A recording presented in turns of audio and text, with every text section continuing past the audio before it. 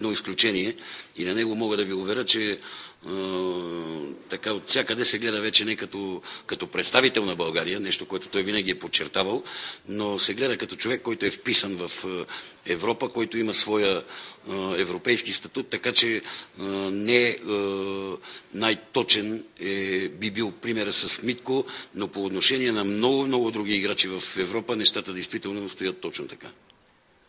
И пак казвам, за да така може би да приключим темата, че в много случаи и ние самите, е, така, е, отразявайки нещата, спомагаме е, или даваме козове да, така, да се гледа точно по такъв начин на, на нашите футболисти.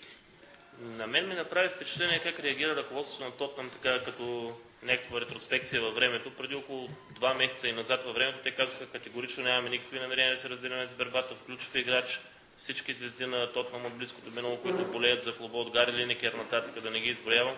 Всички ти казаха на никаква цена не трябва клуба да се разделя с Митко. Но напоследък и Холандия Рамос каза, че готви състава без Митко, търси заместници и поет постоянно а, говори за трансфера като нещо, което трябва да приключи. Колкото и в общ план да говориме, не може да не отчетеме, че има някаква разлика в публичните изяви на, на ръководните фактори в Тотнам. Това за този факт се крие, за това се крие нещо, вероятно. Ами, вижте, аз може би се опитам, да, защото все пак всеки има право на мнение. Те са двама от представителите на клуба, но все пак нещата се решават на доста по-високо ниво, на ниво собственици. Говоря и принципно и конкретно. А аз напълно ги разбирам и го разбирам Хуан Дерамо, защото толкова много се изписа Сигурно и те имат своята информация и явно те, което е нещо нормално и е нормално на, на всички нива, във всеки един клуб да бъде така, те очакват решението, решението в смисъл дали Митко ще остане или ще бъде продаден, защото все пак на, на такова ниво не е толкова лесно да се намерят альтернативи. Още повече, доколкото аз имам информация, Хуан Дерамос има желание да доведе още двама-трима футболисти в Тотнам, освен евентуално заместник на Митко, ако бъде реализиран трансфер. И това са нормални неща и разбирам така тяхното тяхното поведение. Това е логично поведение, това е поведение на професионалисти. Все пак, за да отидат футболисти, те да са в състояние да, да доведат футболисти в Тотнем, на тях са им необходими средства. А една сериозна част от, от тези средства би влязла или би била на тяхно разположение, ако бъде реализиран трансфер на Митко. Така че това са нормални неща и, и такива позиции сме срещали и срещаме постоянно не само в Европа, а и в България. Всеки един треньор иска да има яснота около това, особено когато става въпрос за котируеми футболисти, за футболисти на, на по-високо ниво, е нормално те да знаят колкото е възможно по-рано, дали ще разполагат за следващия сезон с тях или, да, или дали ще разполагат пък с бюджет, за да могат да, да, си, да попълнат и да, да си търсят заместници. Вчера изтече информация, че Тотнам е предложил 107 000 паунда седмична заплата на ЕТО и от, примерно от 10 на дена се знае, че те много настойчиво са последите на ЕТО. Това на практика показва, защото трудно ще могат и Митко и ЕТО да играят двамата, нали? Те са все пак играчи с един и същ пост. Това вероятно показва, че все пак те за себе си са го приели. Ами, Факта, аз пак казвам, нещата са доста по-сложни, отколкото ги, така ги, Изглежда. колкото изглеждат. Тук става въпрос действително за трансфери на изключително високо ниво и когато се подхожда към тях и като реализиране, и като отразяване просто трябва да бъдем много внимателни, защото това, което изтече като информация, изтече като поредната информация в един от английските вестници, а не като, а не като информация от клуба. Аз отдавна съм казал, че просто поне за мен в моето амплуа на, на футболен менеджер, е безмислено и съм спрял да правя коментари на, на публикации в вестниците. Ние естествено, че трябва да уважаваме вестниците и това е тяхната работа да, да, да пишат и да отразяват, но в същото време пък Ние сме професионалисти и смятам, че не е нужно да, да коментирам това, което излиза в, вестни, в вестници, още повече когато то не е официализирано от съответния клуб. Ами, то тогава е излишно да ви питам, защото мен лично ме жегна, че на него веднага му предлагат такава заплата, но пък вие ще кажете, че може би не е истина.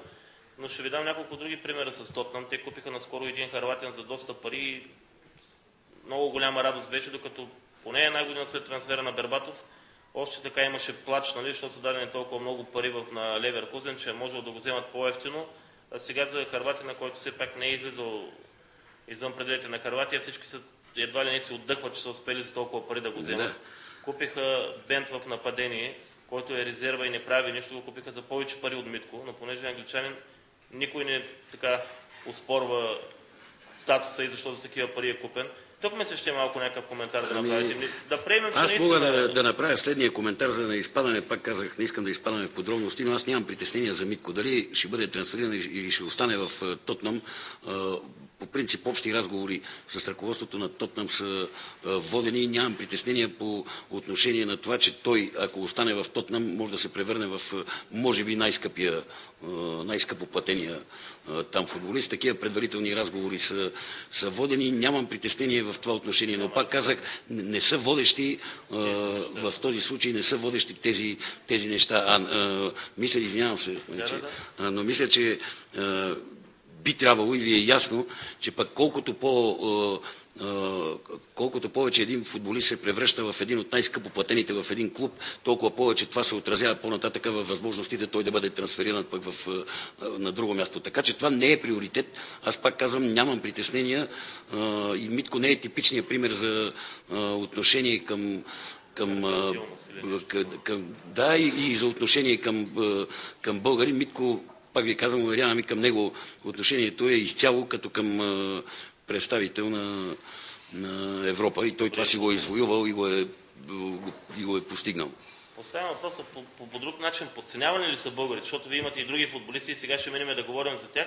Мен, мен просто ме боли, че хайде, ние не сме най-добрите играчи, със сигурност в Европа и всичко, но, но въпреки това ми се струва, че има голяма доза подценяване и, и има наистина един негативизъм, само защото сме българи. Има определено. Това мога да го кажа и това е така един от големите, не бих казал проблеми, защото ние се мъчиме да го преодоляваме, но един от, една от големите трудности в нашата работа. И аз без да споменавам имена, сега ще ви дам един пример. Наскоро така имах среща с един клуб в Германия, който имаше интерес към един наш добър футболист, мога да кажа, не е млад, добър, така ли? И млад, и добър футболист. И на който клуба му, по мое мнение, беше поставил действително така реална цена, отговаряща на, на неговите възможности, на неговия потенциал. И в същото време, общо взето така, въпреки че разговора беше по покана на клуба, и в същото време в някаква степен ударихме на камък защото те бяха, тръгнаха да водят разговора с някаква презумпция, че този футболист ще го вземат без пари и взимайки го от, от България, казвам образно без пари, да, да, да. Нали, на, на цена, която в никакъв случай не отговаря на това, което, на възможностите и на това, което реално бихме търсили. Аз в край на краища за футболисти, с които работя, също, въпреки че защитавам техните интереси, е нормално всеки един футболист да, да иска да излезе и да играе в чужбина, но пък аз се опитвам да не си